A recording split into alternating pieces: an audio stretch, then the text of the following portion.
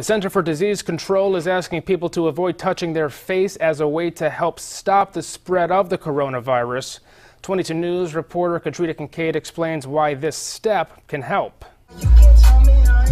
Don't touch your face. It's a common phrase medical professionals are telling people as one method to avoid getting coronavirus. We'll wash hands a bunch of times, we'll wipe everything down. I told her, don't touch anything, don't touch your face. So we're taking the precautions I think we need to. The mucous membranes on your face are easy entryways for coronavirus bacteria. The Center for Disease Control's website says to avoid touching your eyes, nose, and mouth with unwashed hands.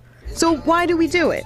Researchers in Germany found that people are typically unaware that they're touching their face, and it's often when they're stressed. You know, if everybody does what they tell them to do, I mean, we're not panicking, but we're just being wise about what we do.